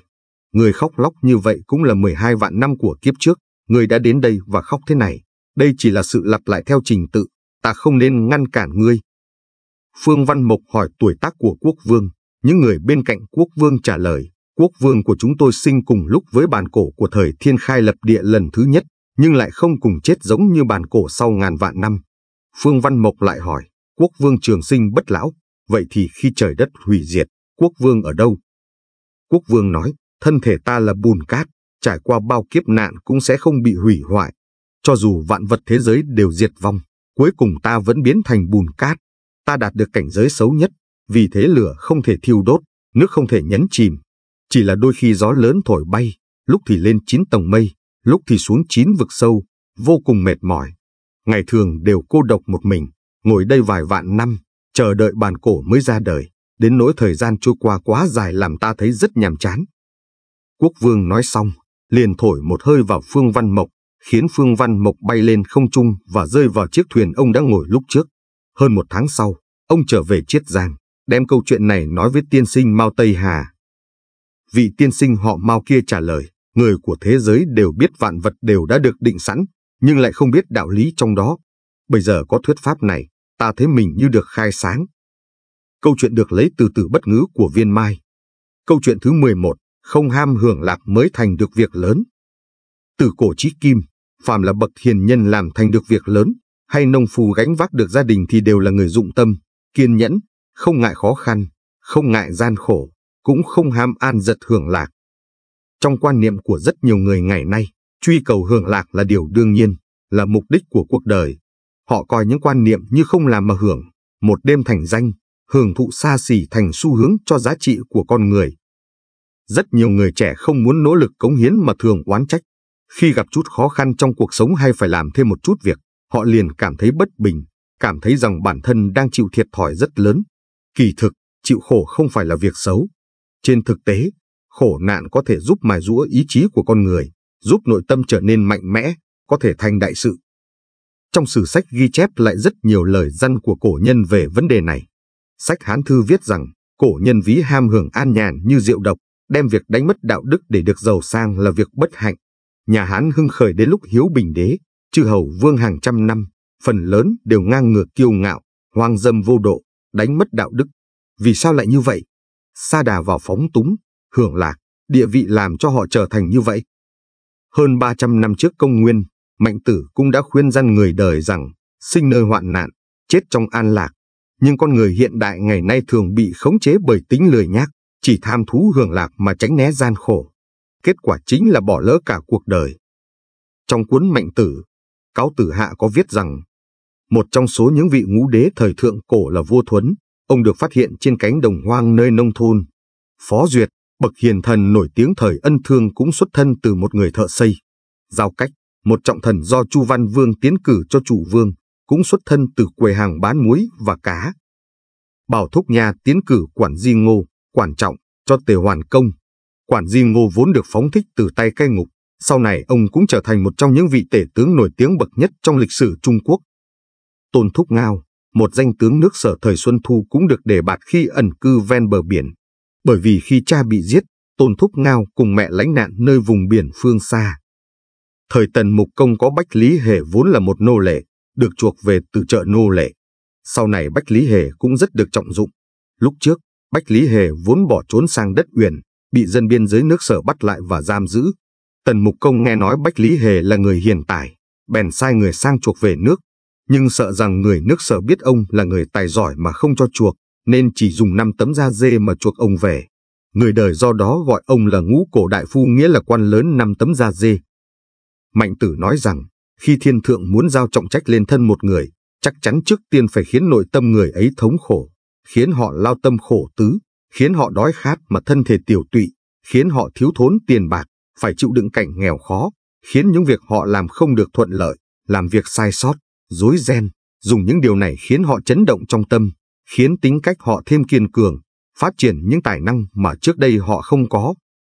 Theo mạnh tử, một người thường phạm phải sai lầm, như vậy sau đó mới có thể quy chính lại, tâm ý nghi hoặc, tư duy bế tắc, sau đó mới có thể nỗ lực phát triển. Tâm tình hiển lộ trên nét mặt, biểu đạt trong giọng nói, mới có thể được người khác thấu hiểu. Lo nghĩ tai ương càng khiến con người phát triển, còn an giật hưởng lạc khiến con người diệt vong. Ngày nay, đời sống vật chất đã được nâng cao, rất nhiều người từ khi sinh ra đến lúc trưởng thành hầu như không phải chịu chút khổ nào đáng kể cả. Đa số đều lớn lên trong mật ngọt, dần dần dưỡng thành tính ích kỷ, ngang ngược, lại càng không thể hiểu được đạo lý sinh trong hoạn nạn, chết nơi an lạc. những việc hữu ích cho con người đa phần lại khiến họ không thoải mái. Ví dụ, dậy sớm tập thể dục dẫu vất vả nhưng lại có thể khiến thân thể khỏe mạnh. Khi cấp trên nghiêm khắc với cấp dưới, có thể khiến lòng người không vui, nhưng lại có thể giúp ta dưỡng thành thói quen làm việc nghiêm túc, hiệu quả cao. Quả là thuốc tuy đắng, nhưng giã tật, sự thật tuy mất lòng nhưng lại có lợi cho con người. Phật gia cho rằng con người đều có nghiệp lực, có nghiệp lực nên mới gặp khổ nạn, người ta trong khi chịu khổ mới có thể tiêu được nghiệp, cho nên mới có câu rằng, có nạn sớm tiêu, có bệnh sớm trị, có khổ sớm chịu, là việc tốt chứ không phải việc xấu. Câu chuyện thứ 12, bí quyết đậu thủ khoa sau khi thi rất 10 lần của cổ nhân. Giúp người lúc nguy cấp, cứu người lúc nguy nan cũng là tích đức cho bản thân. Khi người khác gặp khó khăn, nếu có ý tốt cứu giúp, công đức này cũng có thể che chở cho chính mình. Lưu Lý Thuận, 1582 đến 1644, là người huyện Kỳ, Hà Nam thời nhà Minh. Ông sinh ra vừa tròn một tháng thì cha mất, mẹ một mình tần tảo nuôi dưỡng, từ nhỏ đã hiếu thảo, chuyên tâm tu dưỡng đạo đức, được dân làng nể trọng. Năm vạn lịch thứ 34, năm 1606, khi mới 20 tuổi ông đã đậu kỳ thi hương, nhưng sau đó ông tham gia 10 cuộc thi hội đều bị trượt. Mọi người tiếc cho số phận hầm hưu, xui xẻo của ông nhưng bản thân ông lại rất bình thản. Sau đó, ông siêng năng học hành trong một ngôi miếu thần. Một ngày nọ, khi đang tập trung học, ông bỗng nghe thấy tiếng khóc phụ nữ từ bên ngoài vọng vào, tiếng khóc rất đau khổ thê lương, nên đã cử người đến hỏi thăm. Hóa ra là một thiếu phụ, chồng cô ra ngoài làm ăn buôn bán 7 năm chưa về, chồng đi biển biệt bặt vô âm tín, chẳng khác gì không còn trên cõi đời này nữa. Nhà thiếu phụ còn có mẹ chồng, thấy nhà không còn gì ăn, mẹ chồng nghĩ, thay vì ở với nhau mà chết trong vô vọng, tha để con dâu tái hôn còn có đường mưu sinh, bản thân mình cũng có thể kiếm được chút tiền để trang trải cuộc sống. Nghĩ là làm, bà mẹ chồng đã thương lượng với một thương nhân nước ngoài và nhận được 12 lượng bạc từ người kia. Bây giờ thương nhân sẽ đưa người con dâu đi. Ngày thường mẹ chồng con dâu sống nương tựa vào nhau, quan hệ rất tốt. Giờ chia tay cô con dâu không thể chịu đựng được cảnh chia lìa, nên ôm đầu mà khóc. Sau khi Lưu Lý Thuật biết được toàn bộ sự việc, liền vội vàng nói với người hầu của mình, mau về lấy 12 lượng bạc qua đây. Người hầu nói, lão già, giờ gia đình ta cũng đang khốn khó, chỉ còn lại một ít tiền để nộp thuế, sáng sớm ngày mai sẽ nộp. Người hầu do dự, hy vọng chủ nhân có thể thay đổi ý kiến. Người cứ lấy về đây rồi tính tiếp. Lưu Lý Thuận rất kiên quyết nhấn mạnh, cứu người là cấp bách, còn tiền nộp thuế thì nghĩ cách gom góp vẫn kịp. Sau khi người hầu trở về, Lưu Lý Thuận lại viết một bức thư, bắt chước giọng điệu của vị thương nhân đã lâu không trở về nhà. Nói rằng trong 7 năm xa nhà, ông đã kiếm được 500 lượng bạc và sẽ trở về quê trong 10 ngày nữa, đồng thời gửi trước 12 lượng bạc để gia đình chi tiêu. Sau đó gửi cả bạc và thư cho hai mẹ con nọ. Hai mẹ con cùng đường lại có lối thoát, vô cùng mừng rỡ, lập tức trả lại tiền hồi môn. Thấy con trai bà cụ vẫn còn sống, thương nhân nước ngoài liền lấy lại tiền rồi bỏ đi. Sau hơn 10 ngày, con trai của bà lão quả thực trở về, số tiền mang về và tung tích của ông hoàn toàn khớp với những gì trong thư nói. Khi người mẹ nói về việc nhận được bức thư, người con trai đã rất bất ngờ. Ông ta lấy bức thư ra xem, càng xem càng cảm thấy khó hiểu, hồi lâu sau mới nói, đây là ông trời thương hại ta, bí mật giúp đỡ ta. Từ nay về sau, cả gia đình chúng ta hàng ngày phải cúng bái trời đất để báo đáp. Sau đó, chồng của người thiếu phụ đến thăm ngôi miếu thần để tạ ơn thần linh đã cứu gia đình mình. Ông ta nhìn thấy bài đề tụng của Lưu Lý Thuận trên tường, nghĩ đến chữ viết tay trong bức thư, nên biết rằng bức thư và số bạc là từ Lưu Lý Thuận mà ra. Vì vậy cùng người nhà đến Lưu Phủ cảm tạ. Tuy nhiên, điều bất ngờ là Lưu Lý Thuận không chịu thừa nhận. Năm sau, năm Sùng Trinh thứ bảy, niên hiệu Gia Hưng, 1634, Lưu Lý Thuận lại đi lên phía Bắc để khảo thí. Lúc này, ông đã 53 tuổi. Khi trúng cử, ông chỉ mới 20 tuổi. Sau đó, ông đã tham gia 10 lần thi hội nhưng lần nào cũng trượt. Đây là lần thi hội thứ 11 của ông. Lần này, ông đã vượt qua cuộc thi hội một cách xuất sắc. Đến vòng thi đình, Lưu Lý Thuận vì đã gặp quá nhiều thất bại nên không có ý định tranh đầu bảng. Vì vậy ông rất bình tĩnh, vô lo vô nghĩ. Khi viết bài văn ứng thi, mỗi khi gặp phải đề viết theo quy cách yêu cầu, đôi lúc bị ảnh hưởng đến mạch văn ý văn, ông luôn đặt ý văn mạch văn của mình làm trọng, cho dù không đạt quy cách cũng mặc kệ. Thi đình kết thúc, đại thần chấm thi đã gửi 12 bài ứng thi tốt nhất cho Hoàng đế Sùng Trinh phê chuẩn. Hầu hết các bài thi này được viết theo đúng yêu cầu về quy cách vì theo hình thức khuôn mẫu nên nó sẽ không tránh khỏi sự buồn tẻ, sáo rỗng. Hoàng đế Sùng Trinh lật đi lật lại 12 bài thi, mặt mày cau có. Các quan chấm thi thấy tình hình không ổn nên chạy về nội các, mang 12 bài thi khác đến. Sùng Trinh ngay lập tức lật dở các bài thi ra xem, nhưng đã đọc qua 7, 8 bài rồi mà vẫn chưa chọn ra được bài nào ưng ý. Các quần thần trong nội các không còn cách nào khác lại phải chạy về và lấy tất cả các bài thi mang ra. Sau khi xem đi xem lại kỹ càng, Hoàng đế Sùng Trinh cho rằng bài thi thứ 22 có thể coi là bài viết bộc lộ được hết ý hết lời, có chất lượng cao nhất, vì vậy đạt vị trí bảng vàng. Bài thi đó chính là của Lưu Lý Thuận. Lưu Lý Thuận 10 lần đi thi hương, đằng đẵng 30 năm, và cuối cùng đã đỗ trạng nguyên lúc 53 tuổi. Sau khi tuyên chỉ sướng danh trên điện, rồi truyền gọi tân tiến sĩ đến gặp mặt thiên tử, Sùng Trinh vô cùng hài lòng với trạng nguyên mà mình lựa chọn. Lúc đó ông đã từng đắc ý nói với cận thần, hôm nay chấm đã tìm được một người cao tuổi đức cao vọng trọng. Sau đó lập tức tấn phong Lưu Lý Thuận làm người tu soạn của Hàn Lâm Viện. Lưu Lý Thuận đã làm các chức quan như Nam Kinh Quốc tử giám ti nghiệp, tả Trung Duẫn, Hữu Du Đức, Kinh Diên giảng quan. Nhiều người có thể nghĩ, vì Lưu Lý Thuận kiên trì bền bỉ, không bỏ cuộc nên mới đạt được kết quả như vậy. Nhưng thế gian có bao người cố chấp theo đuổi mục tiêu, nào có mấy người thành công. Chúng ta đã xem nhẹ hay thậm chí quên đi điểm then chốt có thể cải mệnh một người, đó chính là đức. Một chữ này tuy đơn giản nhưng nặng tựa nghìn cân. Vậy nên muốn thành công trên con đường công danh thì ngoài việc kiên trì nhẫn nại, còn phải sống thiện lương, tích đức hành thiện. Có như vậy thì vận hạn bản thân sẽ mau rời đi, đường lớn trước mặt càng thênh thang. Câu chuyện thứ 13, Đại trí nhược ngu, khiêm tốn cầu hiền. Thành ngữ cổ có câu, đại trí nhược ngu, đại dũng nhược khiếp, kẻ tài trí giả như ngu dốt, kẻ dũng mãnh giả như khiếp sợ. Lão Tử cũng giảng, đại âm vô thanh, đại tượng vô hình, tiếng lớn ầm ầm như không có tiếng, hình lớn hiện ra như không có hình. Những lời này đều có ý nói rằng người có tài trí cao nhưng luôn khiêm tốn, không để lộ tài năng, vẻ ngoài biểu hiện ra giống như một người bình thường hay ngu dốt, nhưng thực ra lại là người có trí tuệ phi phàm. Đối với bậc quân vương mà nói, đại trí nhược ngu được biểu hiện ở sự tôn kính, nể trọng, hạ mình đối với người khác. Trong lịch sử thật sự có nhiều bậc quân vương hay các vị quan đại thần nhờ dựa vào nhược ngu, nhược khiếp mà thành tựu được sự nghiệp to lớn. Thời chiến quốc, vua nước Yên hỏi lão thần Quách Ngỗi, thỉnh ngài chỉ giáo cách làm thế nào mới khiến quốc gia cường thịnh. Quách Ngỗi đáp, thời Tam Hoàng Ngũ Đế đối đãi với đại thần giống như đối đãi với bậc thầy. Quân vương có đức kết giao với thần tử giống như những người bạn. Minh chủ hùng mạnh đối đãi với đại thần tôn kính như đối với khách. Chỉ có quân vương mất nước mới đối đãi với thần tử giống như người tù tội. Xin đại vương tùy ý lựa chọn cách làm. Yên vương nghe xong đáp, ta nguyện ý học tập, nhưng lại không có người thầy tốt chỉ dạy. Quách ngỗi nói, nếu đại vương thực sự có chí nguyện mong muốn quốc gia giàu mạnh, thần nguyện ý làm người dẫn đường cho đại vương đọc sách trong thiên hạ.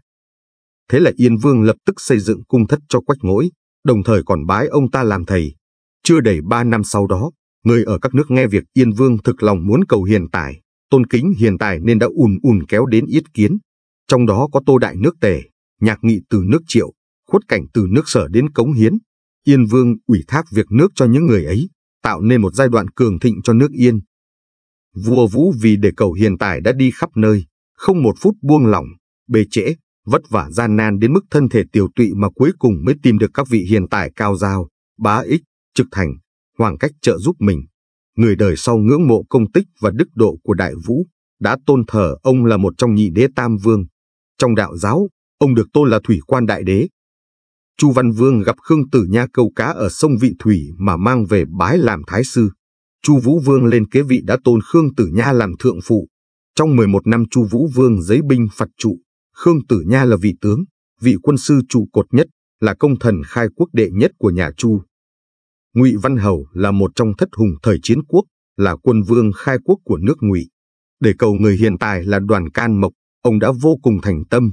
Thậm chí khi đi qua ngõ mà đoàn can mộc cư trú, Ngụy Văn Hầu hai tay nâng thanh gỗ ngang phía trước xe để biểu thị lòng kính trọng đối với đoàn can mộc.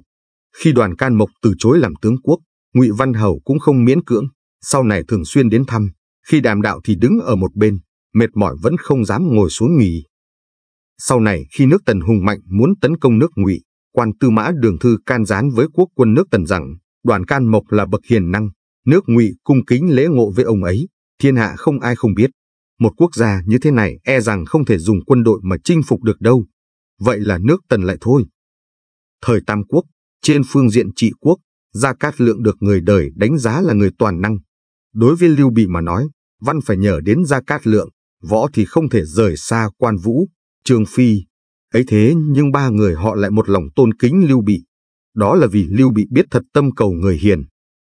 Lời khuyên đại trí nhược ngu, đại dũng nhược khiếp hay câu nói đại âm vô thanh, đại tượng vô hình không chỉ là thể hiện của sự khiêm tốn mà còn là một loại trí tuệ cao thượng. Bậc đại trí biểu hiện ra như kẻ khờ, bởi vậy người bình thường khó mà hiểu được họ, càng khó mà dùng cái được mất ở thế gian để luận anh hùng. Chỉ người không so đo tính toán được mất ở thế gian, luôn dùng tâm đại nhẫn, tôn người hạ mình mà thiện đãi tất cả mọi người trong thiên hạ mới đúng là biểu hiện của bậc đại trí tuệ chân chính. Câu chuyện thứ 14, Tích Đức Xả Tài, lựa chọn cao minh của Tăng Quốc Phiên và Lâm Tắc Tử. Có người thống kê, từ năm Hàm Phong thứ ba thành lập tương quân cho đến năm Đồng Trị thứ bảy kết thúc chiến sự, Tăng Quốc Phiên ký cấp phép khoảng 3.500 vạn lượng quân phí. Chỉ cần ông nổi lên một chút lòng tham, muốn tích lũy tài sản mấy trăm vạn là chuyện quá dễ dàng. Tăng Quốc Phiên lãnh đạo tương quân, quyền cao chức trọng, nắm quyền tài chính trong tay nhưng lại có thể giữ mình trong sạch, không tham một đồng nào của quân đội. Vào thời điểm ấy, một tấm phiếu muối có lợi tức ba bốn ngàn lượng bạc, nếu như tăng ra lãnh phiếu theo quy định thì có thể được lãnh một hai trăm tấm, nhưng ông nghiêm cấm người nhà không được nhận lãnh. Còn vị quan lâm tắc từ khi ấy phụng lệnh quốc gia nghiêm cấm á phiện, chỉ cần ông nới lòng một chút là có thể nhận được mấy trăm vạn lượng tiền hối lộ một cách dễ dàng. Nhưng hai người họ lại đưa ra sự lựa chọn khác với tưởng tượng của người bình thường. Vào thời dân quốc, cháu trai của Tăng Quốc Phiên là Nhiếp Vân Đài đảm nhận chức Chủ tịch Thương hội Thượng Hải, vì ông là hậu nhân của danh gia vọng tộc, con cháu của gia tộc quyền quý vào cuối thời nhà Thanh và đầu thời kỳ dân quốc, nên thường xuyên qua lại với các thương gia giàu có. Nhiếp Vân Đài tận mắt chứng kiến quá trình hưng thịnh và suy thoái của một số người. Ông phát hiện ra rằng người của thời bấy giờ muốn kiếm tiền không khó, muốn làm giàu cũng không khó, nhưng muốn duy trì được sự giàu có thì lại rất khó. Khi đó có không ít những quan lớn quý tộc đều từng hiển hách một thời, nhưng chỉ qua một thời gian sau, những gia tộc đó đều lụi tàn hết. Nguyên nhân phần lớn là do con cháu không nên người, không lo làm ăn, chỉ lo chơi bời trác táng, làm mất sạch hết toàn bộ của cải.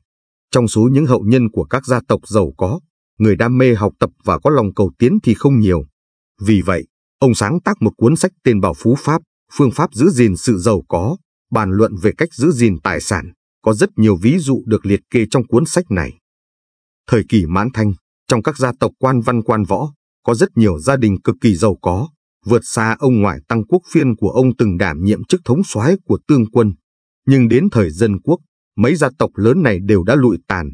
Chẳng qua chỉ mấy chục năm trôi qua, tài sản truyền đến đời thứ ba đã như mây bay khói tàn, toàn bộ đều tiêu tan hết sạch. Ngược lại, những gia tộc nắm giữ quyền thế trong tay nhưng lại không chịu làm giàu cho bản thân, sau này lại có sự thay đổi cực kỳ lớn. Lời thề của thống soái quyết không trục lợi của công. Trong cuốn Bảo Phú Pháp Nhiếp Văn Đại có nhắc đến ông ngoại tăng quốc phiên của ông làm quan 20 năm, muốn dựa vào địa vị chức quyền để mưu cầu tiền của cho gia tộc là một chuyện rất dễ. Tăng quốc phiên là thống soái tối cao của tương quân, nắm giữ quyền lực tài chính tuyệt đối. Quân phí mà triều đình phát cho tương quân đều là do tăng quốc phiên ký xác nhận.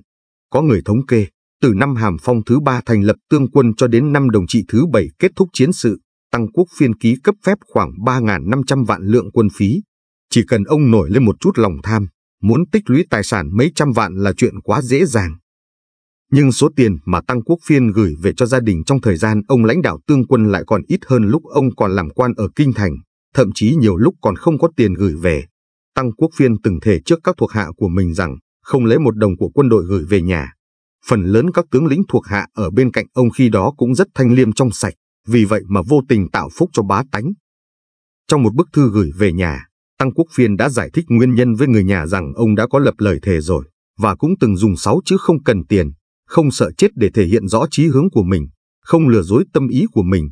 Ngoài những thực phẩm và y phục cần thiết bình thường, ông không gửi quá nhiều tiền về nhà, còn có một nguyên nhân là lo lắng tác phong gia tộc trở nên xa xỉ và kiêu ngạo. Trong bức thư gửi về nhà, ông nói, ta không muốn gửi nhiều ngân lượng về nhà, luôn lo sợ tiền bối trở nên xa xỉ, hậu bối trở nên kiêu ngạo, con cháu không có nhiều tiền thì không kiêu ngạo. Còn về bổng lộc hợp pháp, ông thường xuyên lấy ra quyên góp để làm quân phí, quân lương. Đêm ngày 14 tháng 12 năm Hàm Phong thứ bảy, ông gửi thư cho em trai là Tăng Quốc Thuyên nói rằng ở Giang Tây có một vạn năm ngàn lượng bạc từ lợi tức muối ở Chiết Giang. Hôm qua cục muối phái người đến bẩm báo tra hỏi, ta căn dặn hắn giao nộp vào quốc khố bổ sung quân phí. Nắm giữ quyền lực tài chính, không tham ô, cho dù chỉ là một tấm phiếu muối. Tăng Quốc Phiên đích thân sáng lập ra phiếu muối của Lưỡng Hoài, định giá rẻ, nhưng lợi tức rất cao. Giá trị ban đầu của mỗi tấm phiếu muối là 200 lượng, sau này bán được 2 vạn lượng. Lợi tức của một tấm phiếu muối khoảng 3, 4 ngàn lượng bạc. Tại thời điểm đó, nhà nào có một tấm phiếu muối là đủ điều kiện trở thành nhà giàu rồi. Tuy nhiên, Tăng Quốc Phiên đặc biệt căn dặn người nhà, không được nhận lãnh. Mặc dù đối với gia đình của Tăng Quốc Phiên, muốn nhận lãnh một vài trăm tấm phiếu muối là chuyện cực kỳ dễ dàng, hơn nữa về hình thức là không phạm pháp, nhưng Tăng Quốc Phiên quản lý gia đình rất cẩn trọng và nghiêm khắc, không cho người nhà làm như vậy. Ông không chịu phát tài, cũng không hy vọng tích của cho con cháu, lo sợ con cháu đời sau nhiễm phải tác phong xa xỉ, khó mà trở thành người có ích.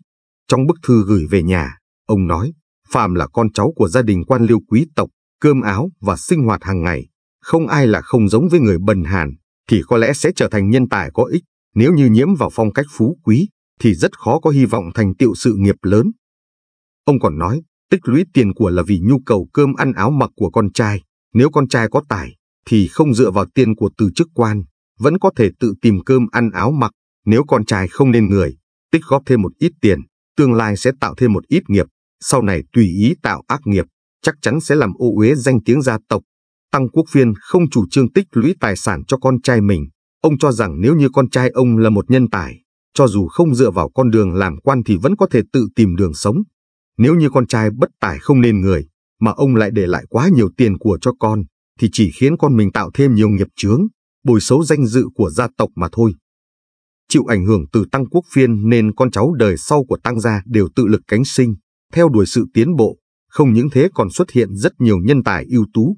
Có người thống kê gia tộc họ Tăng, bắt đầu từ Tăng Quốc Phiên, trong tám đời xuyên suốt gần 200 năm đều không có một bại gia chi tử nào cả. Trong số con cháu của Tăng gia có gần 200 người được giáo dục cao cấp, số nhân tài có tiếng tăm lên đến gần 240 người. Lâm Tắc Tử, yêu nước thương dân, từ chối nhận khoản hối lộ lớn. Trong những năm đạo quang của nhà Thanh, các thương nhân nước ngoài vận chuyển một lượng lớn nha phiến, thuốc phiện vào Trung Quốc, dẫn đến phong tục bại hoại, sức khỏe của người dân đi xuống. Năm đạo quang thứ 18, năm 1838, triều đình phong Lâm Tắc Từ làm khâm sai đại thần, đi đến Quảng Châu nghiêm cấm thuốc phiện. Khi đó có rất nhiều người muốn hối lộ Lâm Tắc Từ, nếu như ông ta muốn làm giàu, có thể kiếm được mấy trăm vạn lượng một cách dễ dàng, gia tộc cũng theo đó mà hưởng lợi. Nhưng Lâm Tắc Từ là một người yêu nước thương dân, biết rằng nha phiến gây hại cho bá tánh, gây thảm họa nặng nề cho đất nước, bởi vậy ông kiên quyết từ chối nhận sự hối lộ của các thương nhân, thiêu hủy gần 2 vạn, 20.0000 thùng nha phiến tại Hổ Môn. Năm sau, cũng bởi việc này mà quân đội nước Anh uy hiếp triều đình nhà Thanh, triều đình vì muốn hòa bình, nên đã cắt chức Lâm Tắc từ để điều tra, lưu đày ông đến biên cương để xung quân. Lâm Tắc Tử phải chịu cuộc sống lưu đày trong 5 năm. Có lẽ có rất nhiều người sẽ nghĩ, Lâm Tắc Tử làm như vậy là vì mục đích gì? Từ chối nhận một khoản tiền hối lộ cực lớn, dốc sức nghiêm cấm thuốc phiện, cuối cùng rơi vào kết cục bị cách chức xung quân. Trước khi đi, ông làm một bài thơ tên là Phó Thú Đăng Trình Khẩu Chiếm Thị Gia Nhân, trong đó có hai câu, cức lợi quốc gia sinh tử dĩ, khởi nhân họa phúc tị su chi. Hai câu này có nghĩa là, chỉ cần có lợi cho quốc gia thì cho dù có phải hy sinh tính mạng của mình, ông cũng cam tâm tình nguyện, tuyệt đối sẽ không vì bản thân có thể sẽ gặp phải tai họa mà trốn tránh. Đối với chuyện này, Nhiếp Vân Đài ghi chép rằng, sau khi Lâm Tắc Tử qua đời, Lâm gia không có tài sản tích lũy, nhưng không vì vậy mà lụi tàn. Trong số con cháu mấy đời của Lâm Tắc Tử, có rất nhiều người học tập theo cốt cách của ông mà có thành tựu. Trong số cháu chắt của ông cũng có người thi đỗ tiến sĩ, cử nhân. Đến thời kỳ dân quốc, Lâm gia vẫn duy trì được truyền thống học vấn. Chủ tịch Lâm Tường của tòa án tối cao khi đó chính là hậu duệ của Lâm Tắc Tử. Hơn nữa Lâm Tường cũng là một người có đạo đức rất tốt. Lâm Tắc Tử không chịu làm giàu cho bản thân, nhưng ngược lại con cháu nhờ phúc đức đó mà trở nên giàu sang quyền quý. Nhân lúc đất nước khó khăn để làm giàu, tiền vào bất chính cũng ra bất chính. Đồng thời, Nhiếp Vân Đại cũng ghi chép rằng ở Quảng Đông có ba thương nhân giàu có, ba người này là Ngũ Thị, Phan Thị và Khổng Thị. Ba nhà này nhân lúc đang có chiến tranh nhà phiến, làm giàu khi đất nước gặp nạn, kiếm được mấy trăm ngàn vạn lượng bạc trắng. Sự giàu có của ba gia đình này có thể sánh ngang với tài sản của đất nước. Họ ăn mặc xa xỉ, ra vào có xe đẹp ngựa quý đưa đón, sống cuộc sống xa hoa tột bậc. Vào thời điểm đó, phần lớn những bức tranh thư pháp cổ nổi tiếng đều có tên con dâu của ngũ thị, Phan Thị hoặc Khổng Thị, thể hiện rằng những bức tranh thư pháp quý giá đó đều từng được ba gia đình này sưu tầm. Nhưng chỉ mấy chục năm sau, trong số con cháu đời sau của ba nhà này không có người nào thành tài cả, toàn bộ đều lụi bại không một ai ngoại lệ. Trong đại học của Lễ Ký có một câu nói là hóa bột nhi nhập giả, diệt bột nhi xuất.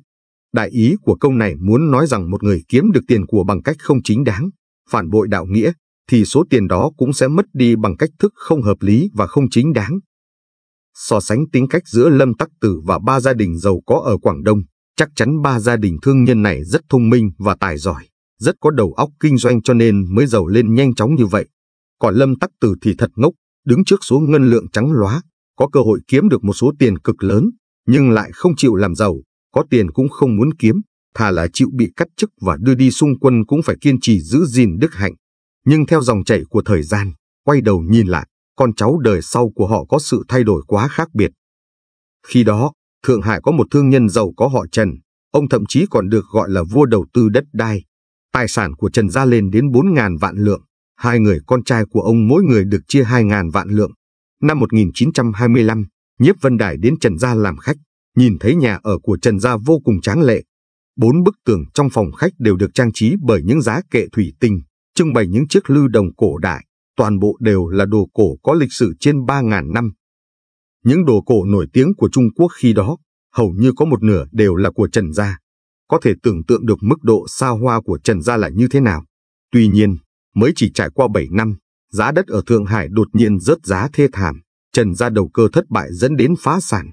Những báu vật đồ cổ, nhà cửa đất đai của Trần Gia, cùng toàn bộ tài sản đều bị ngân hàng tịch thu và giao bán. Trong chắc 15 của Vilo dạ thoại, một cuốn sách khuyên dạy người đời của nhà Thanh có nói rằng tích thiện để lại cho con trai là suy nghĩ sâu xa cho con trai. Tài hoa mà nhiều tiền của thì tổn hại ý chí, ngốc nghếch mà nhiều tiền của thì tăng thêm nhiều lỗi. Phải biết là tích lũy tiền của cho con cháu là tai họa vô cùng. Đại ý của đoạn văn trên là hành thiện tích đức phần lớn là để lại phước đức cho con cháu sau này. Đây mới thực sự là lo nghĩ sâu xa cho con cháu nhất. Nếu con cháu có tài năng mà lại có thể sở hữu rất nhiều tài sản, số tài sản đó sẽ dễ khiến cho con cháu không biết cầu tiến, chỉ lo hưởng lạc, làm tổn hại ý chí con người. Nếu con cháu ngốc nghếch khù khờ mà lại có quá nhiều của cải, thì sẽ khiến cho chúng gây ra thêm nhiều lỗi lầm mà thôi.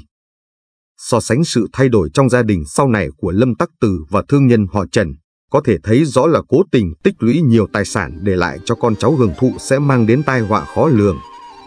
Cảm ơn quý vị và các bạn đã dành thời gian lắng nghe video của chúng tôi. Kính chúc quý vị và các bạn luôn được bình an và hạnh phúc trong cuộc sống. Còn bây giờ, xin kính chào và hẹn gặp lại quý vị và các bạn ở những video tiếp theo.